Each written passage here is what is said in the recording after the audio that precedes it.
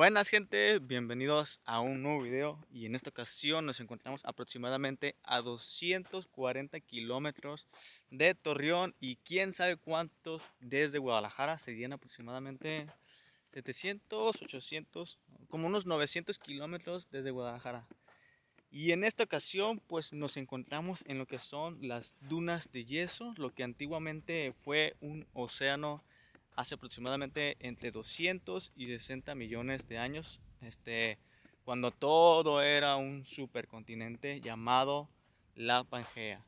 Este, hay dos entradas, me comentaba el muchacho de la, que está ahí en la, en la entrada, que del otro lado está cerrado por mantenimiento o algo así, y alcancé a verlo por la carretera, alcancé a ver, si no, si hubiera sido una vueltota de aproximadamente unos 15 kilómetros o 20. El costo para entrar a este lugar es de aproximadamente 120 pesos. Y si vienen desde Torreón, pues tráiganse botellas de agua este, bien frías porque no hay nada de un oso en 200 kilómetros. Ahorita el sol sí está calando un poquito, pero dicen que la tierra se siente, se siente bien, se siente, no se siente tan, tan calurosa. Ahorita lo vamos a comprobar, nada más que hay un poquito de maleza en este sitio. Hay palapitas y hay baños para descansar. Y las vistas son impresionantes. Ahorita le abrí toda la apertura hasta a la cámara hasta el eje 22 porque nosotros no tenemos filtro por el momento y si no se vería muy muy muy quemada la imagen. Deja voy por la gorra para ponérmela y comenzar a recorrer las dunas de yeso. Para llegar a las dunas de yeso, el trayecto desde Torreón hacia las dunas tiene una duración de aproximadamente 3 horas y media. Están en la zona central del estado, dentro del área de protección de flora y fauna Cuatro Ciénegas. El trayecto desde la entrada hasta las dunas son de aproximadamente 5 kilómetros. Miren, pues este es el brazalete que nos dan a nosotros para poder entrar. Aquí están las palapitas. Esto es lo que les digo de la imagen, que se quema demasiado. Tenemos esta área de descanso. Y aquí para comprar bebidas, nada más que apenas las van a poner y yo me voy a tener que esperar un ratillo para poder comprar.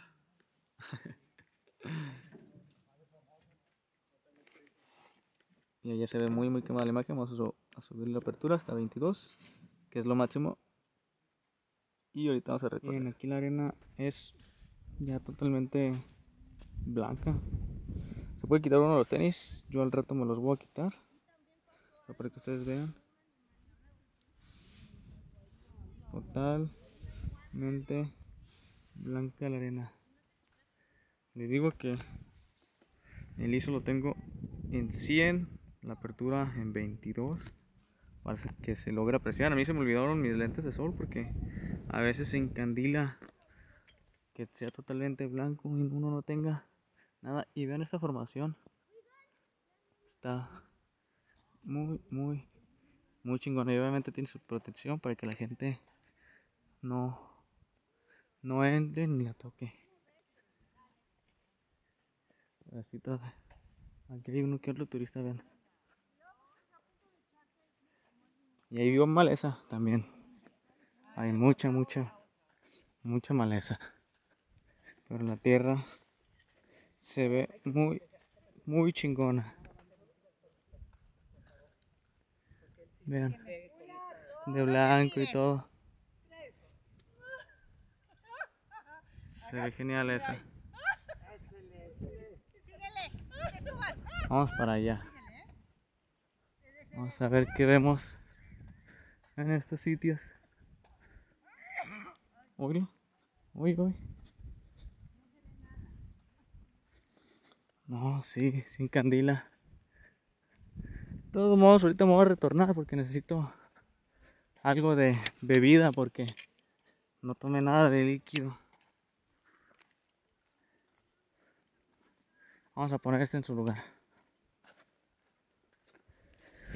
¿Por qué se cayó? No, va a estar difícil. Para su conservación, tu seguridad, está estrictamente prohibido subir o sombrearte en los montículos. Ah, se llaman montículos. Pero sí va a estar difícil ponerlo. Entonces dejémoslo aquí. Así.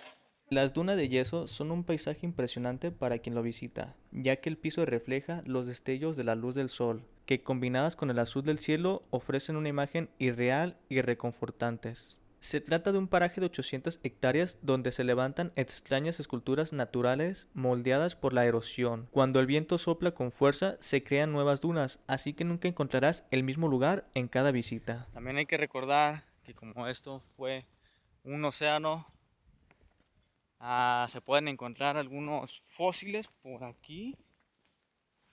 Entonces, no nada más aquí, sino también en las dunas de Bilbao, en la zona del silencio ya, en Durango. Pero pues a veces encontrarlos es algo difícil, hay que escarbar y todo eso. Hay que perforar. Y pues sí, tomaría algo de rato. Cielos, ¿por qué no traje mis lentes de sol? Creo que ya estamos llegando a las últimas de la parte de, aquí de las dunas de yeso. Sí, porque acá ya, ya se comienza a ver diferente.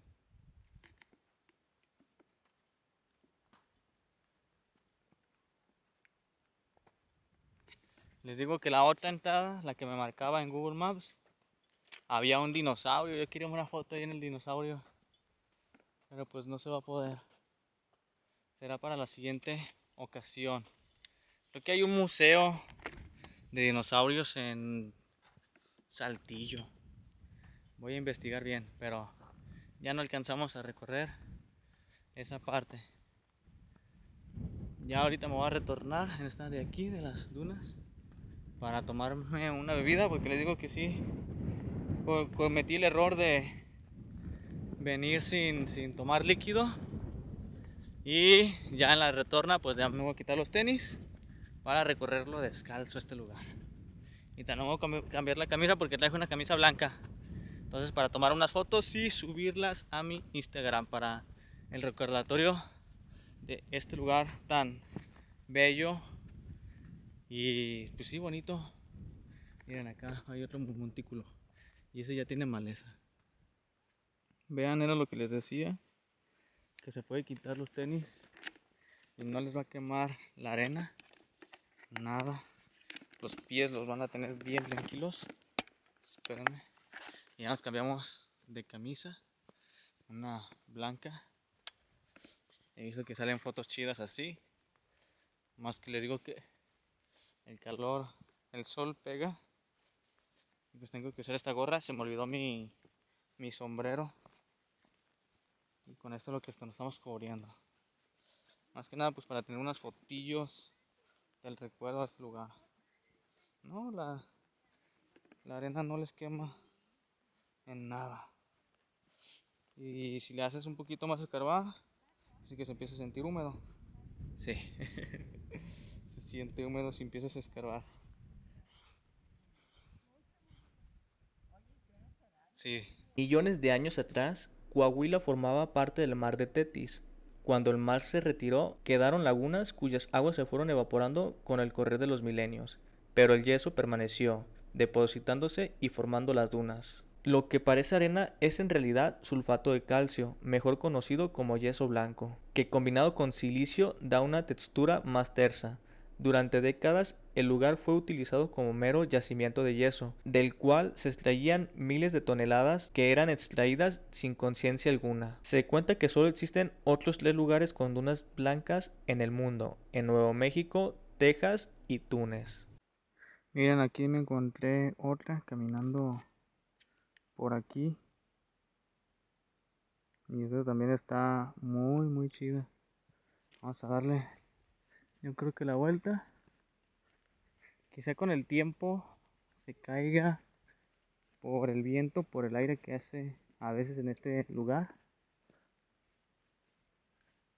Esta parte es aquí. Así se ve así. Y me digo que estamos descalzos, ya.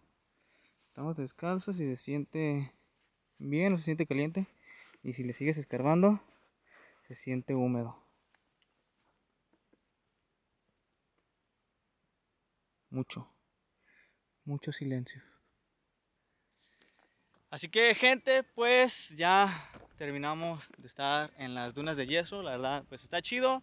Me hubiera gustado conocer la otra entrada, pero me comentaron que hubo, hubo un evento y estaban limpiando. Entonces es por eso que está cerrado. Posiblemente lo abran mañana o el sábado. Y lo interesante de ahí es que tenían un dinosaurio de esos de los que vuelan. No me acuerdo cómo se llama.